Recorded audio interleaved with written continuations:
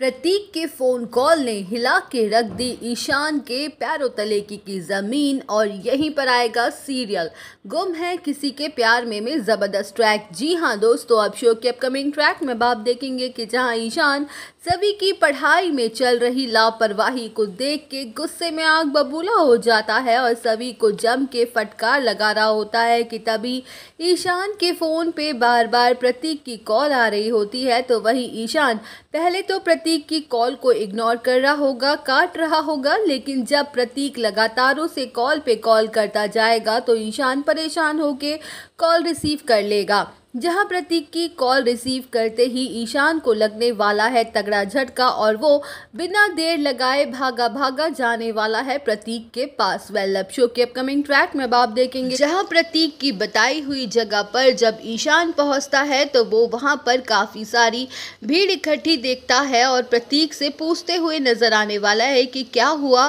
तूने यहाँ क्यों बुलाया मुझे?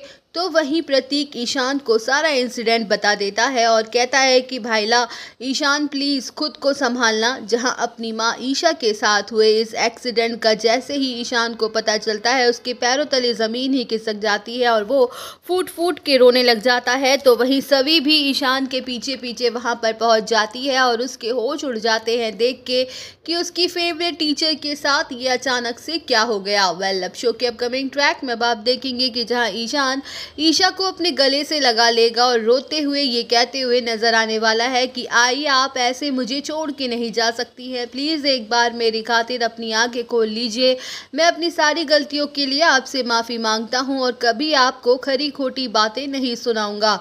तो वहीं ईशान और प्रतीक दोनों मिलकर तुरंत ही ईशा को हॉस्पिटल में एडमिट करवा देंगे, जहाँ ईशा रिकवर भी कर जाएगी और उसके होश में आते ही ईशान एक बहुत बड़ा फैसला लेते हुए नज़र आने वाला है और ईशान के इस फैसले से अक्का साहेब को लगने वाला है तगड़ा झटका।